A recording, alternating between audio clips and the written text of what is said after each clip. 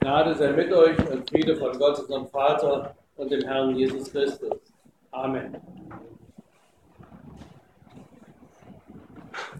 Der Predigtext für den heutigen Sonntag steht bei Jeremia im neunten Kapitel. So spricht der Herr. Ein Weiser rühme sich nicht seiner Weisheit.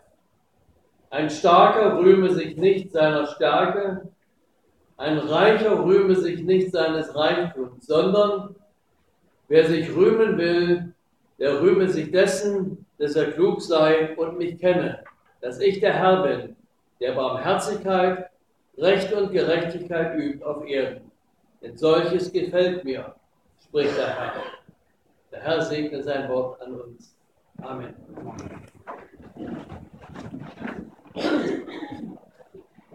Liebe Gemeinde, deutliche, klare Worte, ein Text, der uns zu Demut und Bescheidenheit mahnt in allen Lebenszusammenhängen. Demut und Bescheidenheit in allen Lebenszusammenhängen.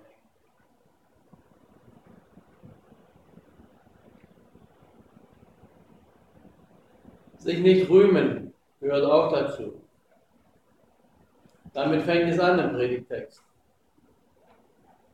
Sich nicht rühmen eine unbequeme Forderung. Sich nicht selber darzustellen im Zeitalter der Social Media.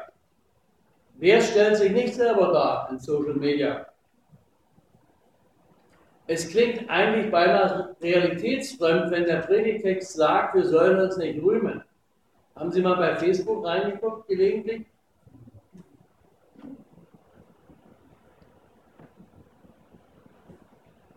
Keine Selbstdarstellung, sich nicht rühmen.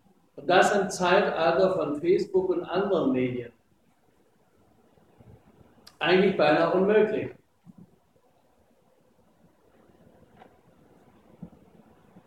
Ich frage mich, wie das funktioniert.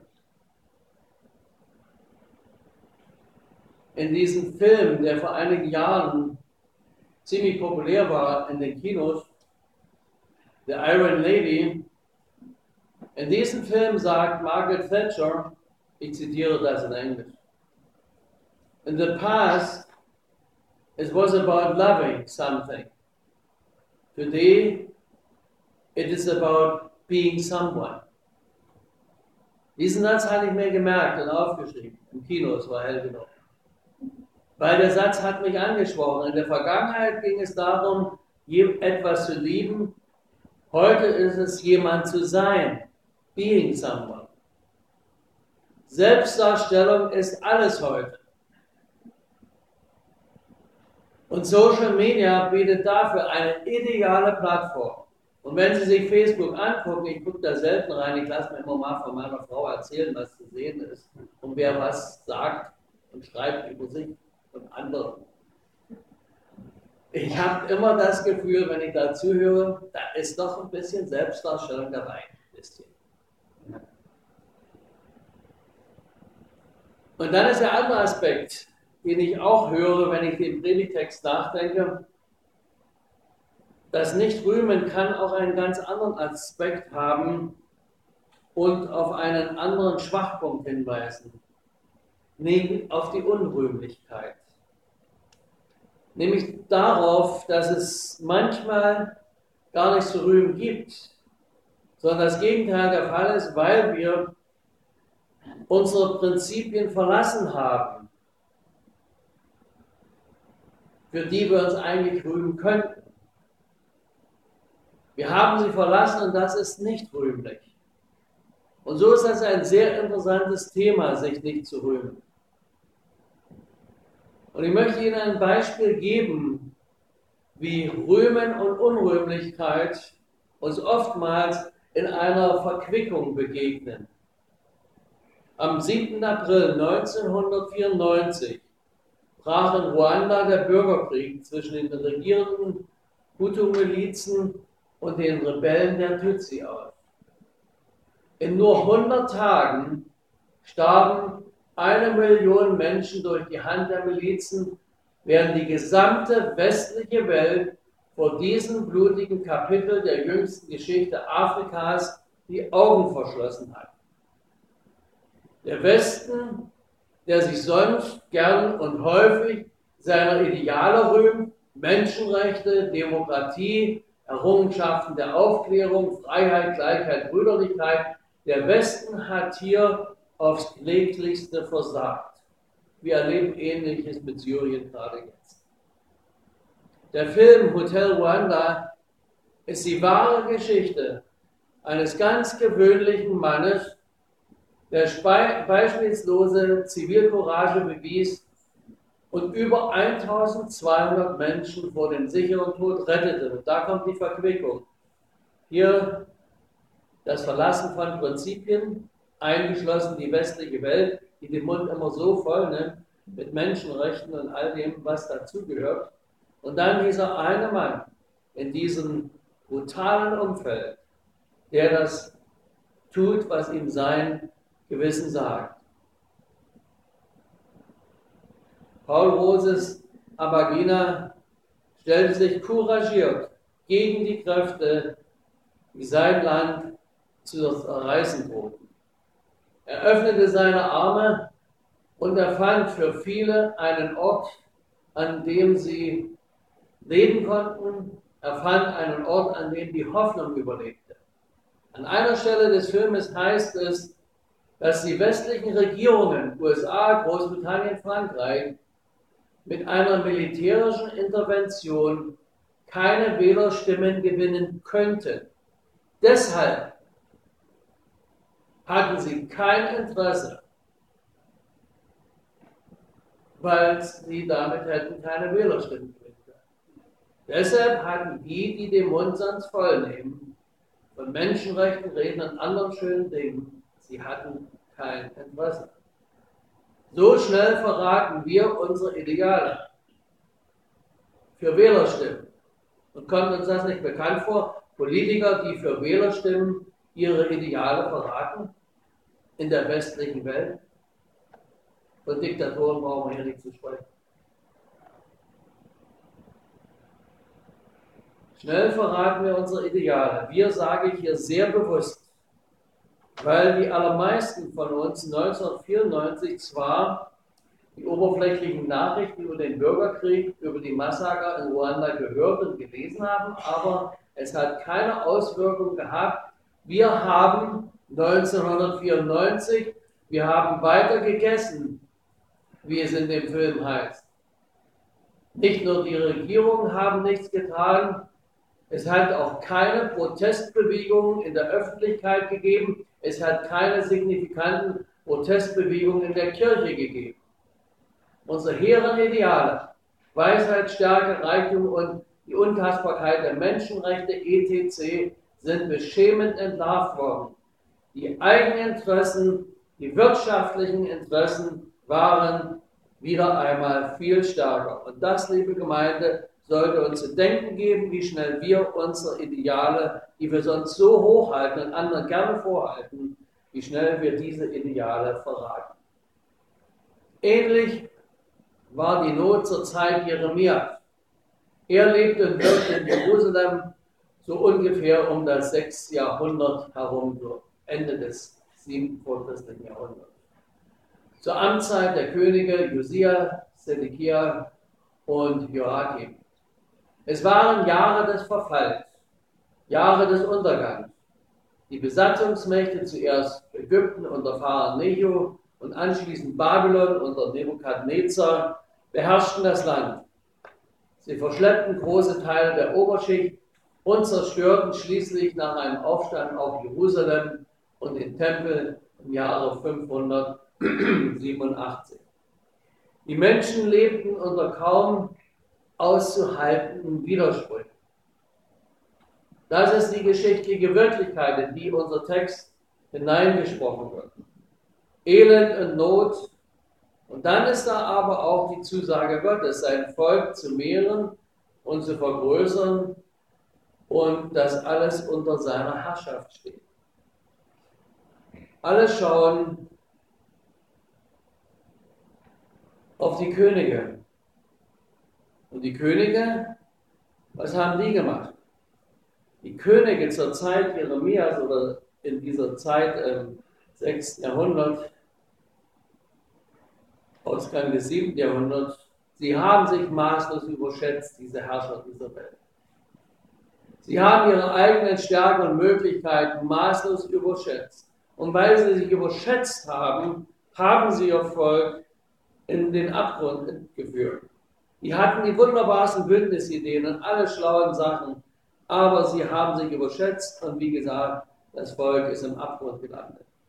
Eine schlimme Situation, ein kleines Volk, Israel, ein kleines Volk, gebeutelt von einer sich total überschätzten Regierung und der Brutalität benachbarter Großmächte.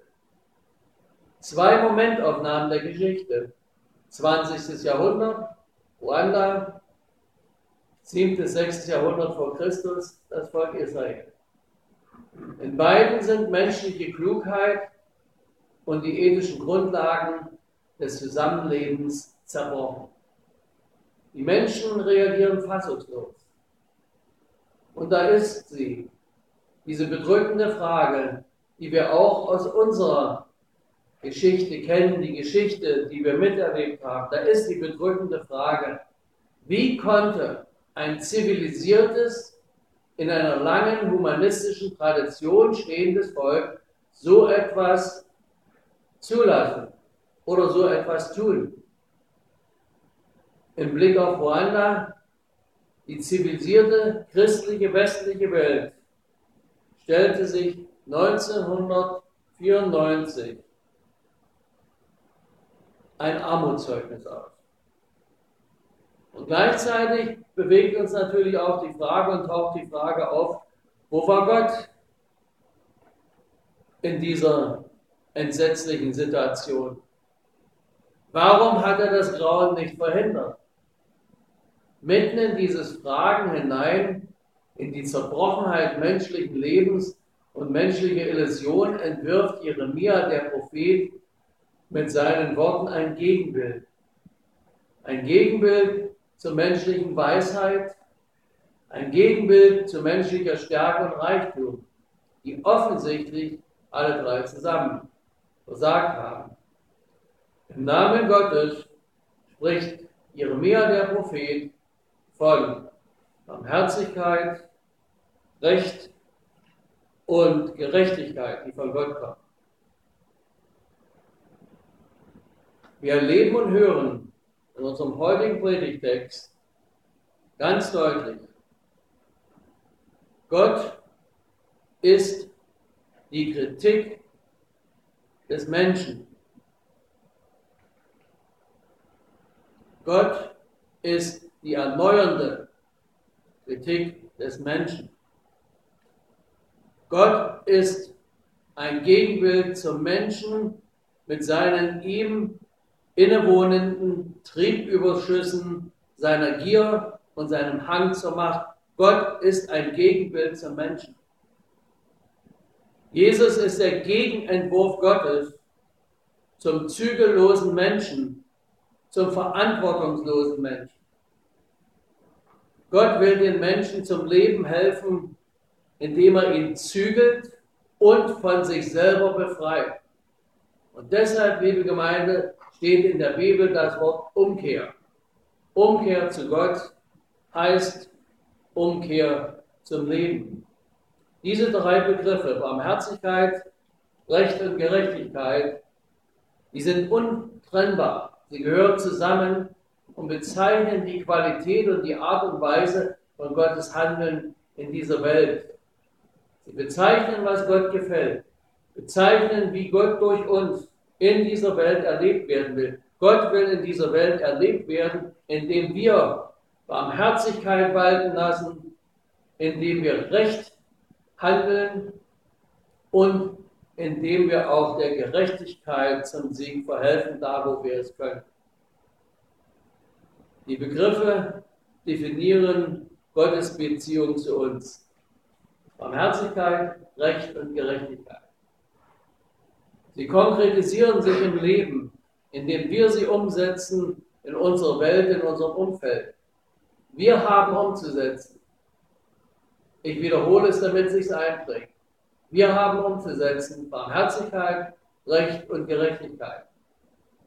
So soll es sich ereignen zwischen Gott und den Menschen Und daraus folgt auch zwischen den Menschen untereinander, zwischen den Menschen und der Natur. Man kann das eine vom anderen nicht trennen. Unser ganzes Leben in seiner Gesamtheit und Tiefe soll durchdrungen sein von Barmherzigkeit, Recht und Gerechtigkeit. Diese drei Begriffe kennzeichnen die Struktur, die Grundpfeiler eines gottgefälligen Lebens. Ja, einer Gemeinschaft, in der Leben gedeiht. Liebe Gemeinde, noch einmal. Leben gedeiht in einer Gemeinschaft, wo wir Barmherzigkeit üben, Recht und Gerechtigkeit zum Sieg verhelfen und es selber praktizieren. Da gedeiht Leben. Und wo diese grundsätzlichen Pfeiler unserer Gesellschaft angekratzt oder gar zerschlagen werden, gedeiht kein Leben. Da geht Leben kaputt. Ich denke, die Frage beantwortet sich von selbst, wohin es führt, wenn wir es daran mangeln lassen. Ich habe es eben versucht, mit wenigen Worten auszuführen. Juda und Ruanda sind nur zwei Beispiele. Was sich im großen im politischen Bereich verheerend und zerstörend auswirkt, wirkt sich genauso verheerend im persönlichen und im privaten Bereich unseres Lebens aus. Ich weiß, dass wir in einer Welt leben, in der es oft gnadenlos zugeht. Ich weiß aber auch, dass wir in einer Welt leben, wo genau diese Dinge, Barmherzigkeit, Recht und Gerechtigkeit, und ich möchte noch Liebe dazufügen, wo diese Dinge praktiziert werden. Aber wie gesagt, ich weiß auch, dass es oftmals gnadenlos zugeht und dass besonders, das ist jetzt meine persönliche Meinung, vielleicht sehen Sie es anders, es geht oftmals besonders gnadenlos zu im Wirtschaftsleben, an der Arbeit. Vielerorts ist Mobbing angesagt und das im steigenden Maße, obwohl wir immer diesen Pink Shirt Day haben, wie Ziegen W uns immer im Februar daran erinnert. Wir sprechen so viel davon und trotzdem höre ich immer wieder über das ganze Jahr, wie Kinder gemobbt werden in der Schule. Ich höre, wie andere in der Arbeit gemobbt werden. Und deshalb ist es wichtig, dass wir versuchen, diese gottgewollte, gottgefällige Art des Lebens umzusetzen und einzubringen, für die die Worte stehen, Barmherzigkeit, Recht und Gerechtigkeit. Es tut uns Menschen einfach gut, wenn da die allein auf Leistung und Tüchtigkeit setzende Gnadenlosigkeit unseres Alltags doch immer wieder durchbrochen wird durch die Erfahrung, durch das Erleben von Barmherzigkeit und Gerechtigkeit. Und selbst wenn solche Erfahrungen nur begrenzt und flüchtig sind, vermitteln sie doch eine Ahnung davon, wie das Leben eigentlich von Gott her gedacht ist. Und das ist eine Einladung, dass wir das Leben so gestalten, dass wir uns so bewegen, wie Gott uns gedacht hat. Und deshalb habe ich gesagt, Gott ist die Kritik, die erneuernde Kritik am Menschen. Kritisch müssen wir uns fragen, hat nicht gerade das Beispiel von Ruanda gezeigt, wie weit Anspruch und Realität bei uns oftmals auseinanderklaffen. Alles rühmen, alles Selbstlob, wie herrlich wir es doch, wie herrlich es doch ist oder wie weit wir es gebracht haben, und jetzt kommt wieder die Litanei mit Menschenrechten, Demokratie und so. Wir müssen davon, damit sehr vorsichtig umgehen, denn wenn man solche Hintergründe hat, wie Ruanda zum Beispiel oder jetzt Syrien, da könnte das sehr schnell zynisch klingen. Und doch behauptet der zweite Vers unseres Predigtextes, dass Barmherzigkeit, Recht und Gerechtigkeit, dass es die gibt. Und dazu nun zum Abschluss noch ein paar Gedanken. Einstein soll einmal gesagt haben, die entscheidende Frage im Leben sei, ob das Universum ein freundlicher Ort sei oder nicht. Ich fand diese inter sehr interessante Äußerung. Dass Einstein sagt, die entscheidende Frage im Leben ist, ob das Universum ein freundlicher Ort sei oder nicht. Und zum Universum gehört unsere Erde. Da habe ich doch gleich gedacht, der Einstein meint wahrscheinlich auch unsere Erde. Entscheidend ist die Frage, ob unsere Erde ein freundlicher Ort ist. Und nun frage ich Sie, ist unsere Erde ein freundlicher Ort. Hast du deinen Beitrag geleistet, dass diese Erde ein freundlicher Ort ist? Hast du das? Willst du es morgen tun, deinen Beitrag zu leisten, dass diese Erde ein freundlicher Ort ist?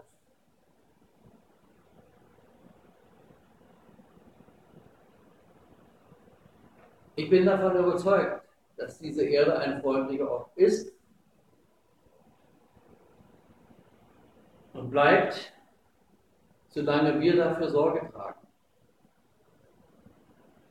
Denn es gibt in dieser Welt Barmherzigkeit. Und es hat sich immer wieder gezeigt, dass es in dieser Welt auch Inseln der Barmherzigkeit und Gerechtigkeit gibt, auch dann, wenn man im Meer der Ungerechtigkeit und Brutalität schwimmt.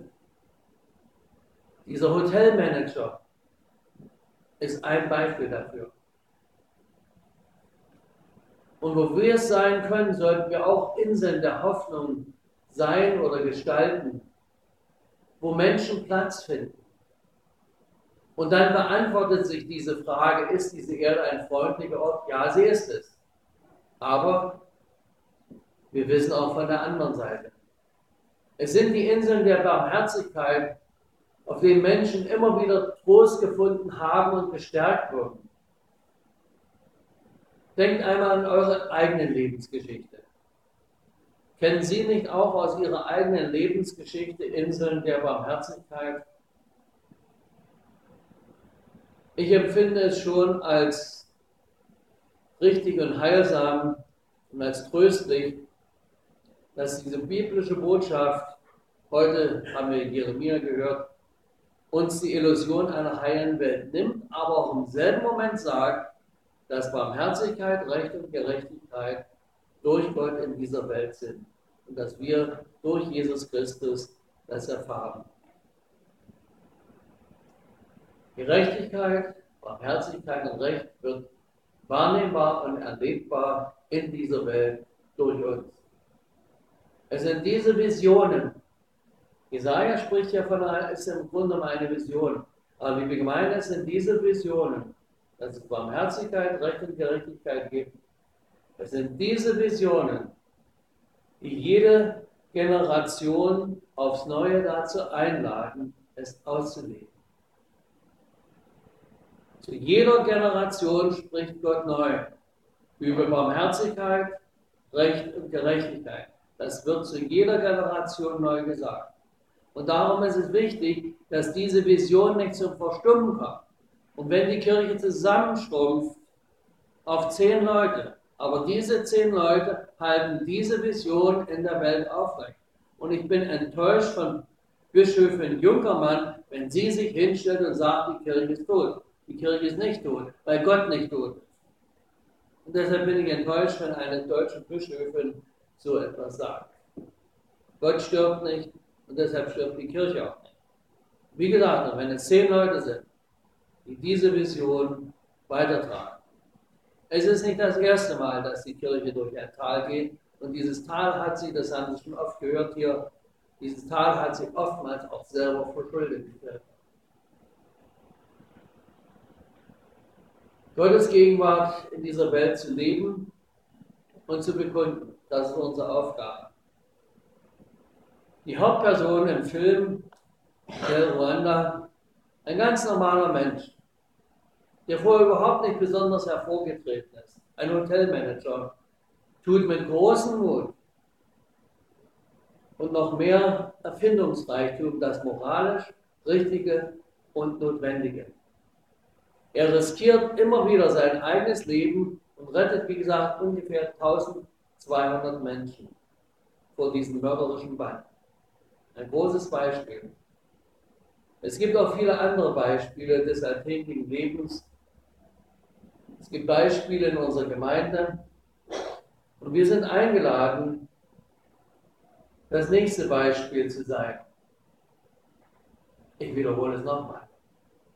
Wir sind eingeladen, das nächste Beispiel zu sein Barmherzigkeit, Gerechtigkeit und Recht. Gott, unser Herr, die Quelle des Lebens, ist lebendig, wirksam und erfahrbar. In jedem kleinen Akt, wo genau das passiert. Ohne diese Erfahrung und die daraus erwachsene Hoffnung wäre es sehr schwer, die menschliche Dummheit und Eitelkeit und das Chaos, das der Mensch oft anrichtet, auszuhalten. Möge Gott, möge Gott jeden Akt der Barmherzigkeit, jeden Akt der Gerechtigkeit und des Rechtes in dieser Welt segnen. Es geht eben nicht um Weisheit und Stärke und Reichtum, sondern es geht, liebe Gemeinde, um ein gottgefälliges Leben. Und was soll ich jetzt eigentlich wiederholen? Welche drei Worte waren das? Naja, Sie wissen ja, Barmherzigkeit, Gerechtigkeit und Recht. Amen.